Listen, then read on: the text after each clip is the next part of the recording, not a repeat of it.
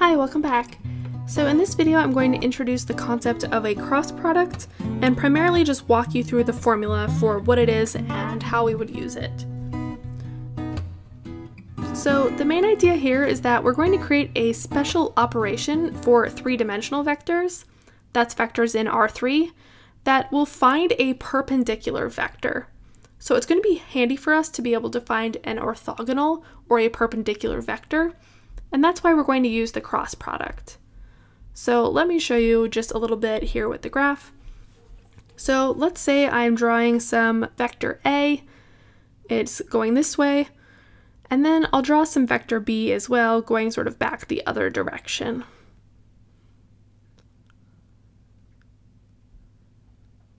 So my hope here with these two vectors is that I want an operation that will find a vector that is orthogonal, or perpendicular, to both A and B.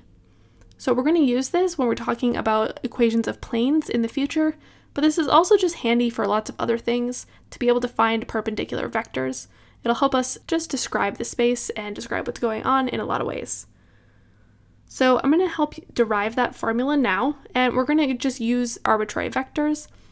Let's say A is equal to A1, A2, A3, and b is equal to b1, b2, b3. So I'm just thinking about some arbitrary vectors a and b. Then we're going to define the cross product of a and b. This is this new operation that's going to make an orthogonal vector. So the cross product is this new vector given by, we write a cross b, and it's equal to, so this is going to be a long formula, and just follow with me. I'll show you where it comes from afterward.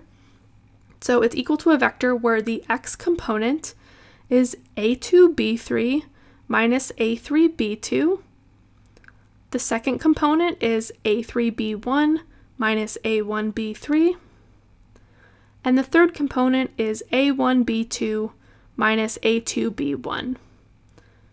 Okay, so this is a long thing, but Thankfully, we have a shorter way to write it that we use. Specifically, it's called using determinant notation. Determinants are used with linear algebra when you start to learn that, but we kind of infuse it here just a little bit to help us do it now. So before I start talking about determinants, I just want to prove to you that this vector I wrote with all of these a's and b's, this cross product, I want to prove to you that it is orthogonal to a and b. So I'm just going to prove it's orthogonal to A, and a similar argument will follow for B, but basically I've just given you this formula out of nowhere, and the best I can do for convincing you that it's true is to take this formula for the cross product and show it is orthogonal to my vectors that I wanted. So specifically what I'm going to do is I'm going to take my vector and dot it with this new cross product. So when we take the dot product of two vectors, it should be equal to zero if they are orthogonal or perpendicular. So I'm really actually going to only do one of these because it just looks exactly the same basically to do the second one, and I'm going to leave that up to you to do if you'd like, but I'll show you the A dot A cross B computation. So what I do is I write down my vector A, A1, A2, A3, and I'm going to dot it with this long cross product formula that I wrote previously. And now I take the dot product. So I do the first component, A1, multiplied by the first component of that long thing. So A1 times A2B3 minus A3B2. Then I do the y components multiplied, so A2 times the y component of the cross product. And then I do A3 times the z component. So I'm just computing the dot product here. And now it's just some yucky math. So I'm going to distribute everything. So I have A1 getting multiplied in, I have A2 getting multiplied in, and A3 getting multiplied in. So you'll see here that these terms are going to start canceling out. So I have an A1, A2, B3 both being added and subtracted. I have an A1, A3, B2 being both added and subtracted. And I have an A2, A3, B1 being both added and subtracted. So these all cancel out and I'm getting zero. So I have zero for my dot product, and that tells me that these vectors are orthogonal. So I don't know if that's really all that interesting. I just want to kind of like show you that maybe if you were trying to come up with this, you could have played around with the formula for the cross product long enough in order to get something that would work. So you could come up with something that you could take the dot product with our vector A and our vector B to get zero. And once you came up with that, then you would have the cross product formula. All right, so the next thing we're going to talk about is how to do this formula instead with determinants. So let me talk about what a determinant is, and when you see it, I think you're going to agree that this is an easier way to remember that whole formula. So determinants are used in matrix algebra, also called linear algebra, and for here they give us a nice way to remember the cross product formula. So let me show you what a two-dimensional determinant looks like.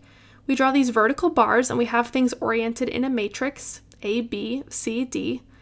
And we do is multiply the diagonals and subtract. AD minus BC.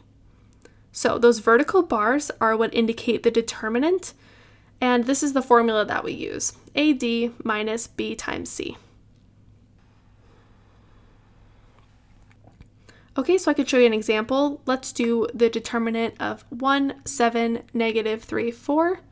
So here I would do 1 times 4 minus 7 times negative 3, and then I would simplify. So I have 4 plus 21, that's 25. And so 25 would be the solution to this determinant. So now I can upgrade this concept to three dimensions. And when we do a three-dimensional determinant, this is where it's going to relate to the cross product formula, the ones with all those A's and B's and numbers in it. So this time I write x1, y1, z1, x2, y2, z2, and x3, y3, z3. So this is just like three rows of x, y, and z's. And how this works is I then take the first number, like the first value in the top left corner, so the x1, and I take the determinant of this bottom part of what's left. So I'm taking the determinant of that little bottom portion of y2, z2, y3, z3. So this is just how we determine, like this is how we do the determinant. So this is just like a formula. This isn't supposed to have like, at this point, any intuition. I'm just telling you the formula. I promise this will be useful in a moment. Then we do minus the next value in the top row, so minus a y1. And now we take the determinant of the other two parts, so x2, z2, x3, z3.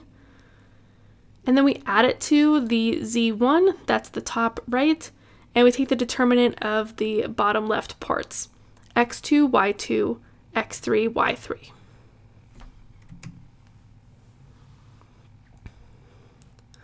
So how we are going to apply this to our specific cross product notation is we're going to replace one of the rows with A1, A2, A3, and the other row with B1, B2, B3. And this is going to get us our cross product, which is a much better way to write it out than having that complicated formula to remember.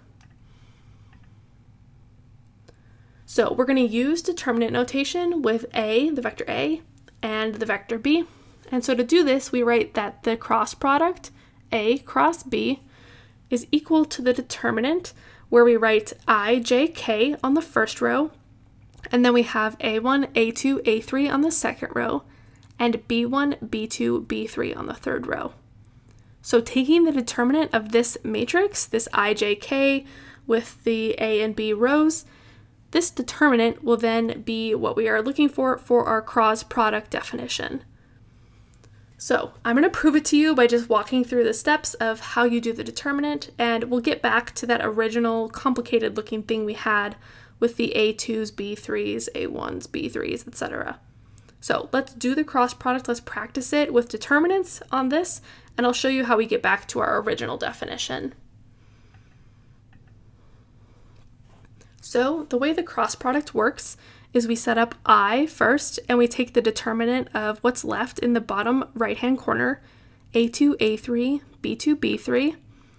Then we subtract off J times the determinant of the bottom parts that are left, so A1, A3, B1, B3. And we add it to K times the determinant of the bottom left, A1, A2, B1, B2.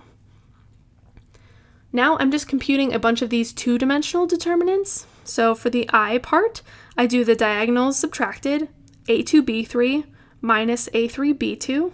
So this might start looking familiar to our original formula. Then I subtract j times the determinant, which is again the diagonals, a1b3 minus a3b1.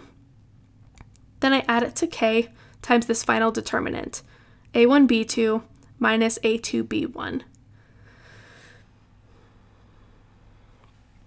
Then, with the way i, j, and k work, I can just put the i parts in for the x, the j parts in for the y, and the k parts in for the z. So I can write this as a vector, a2b3 minus a3b2. Then I have this negative here, so I have negative a1b3 plus a3b1. And finally, I have a1b2 minus a2b1. So this is almost what we're looking for. It's just that middle part is backward. So I'm just going to swap those two so that I have A3B1 minus A1B3. And now I have my original definition of the dot product. So doing this determinant notation is going to make it a little easier for us. It might not feel that much easier since it's a new thing to learn on top of everything else, but knowing how to do determinants will be helpful for you if you take any linear algebra or matrix algebra courses in the future. Okay, so that's it for this video. I will go through some examples with specific vectors and finding their cross products in another video. Thanks so much for watching, and I will talk to you in the next one.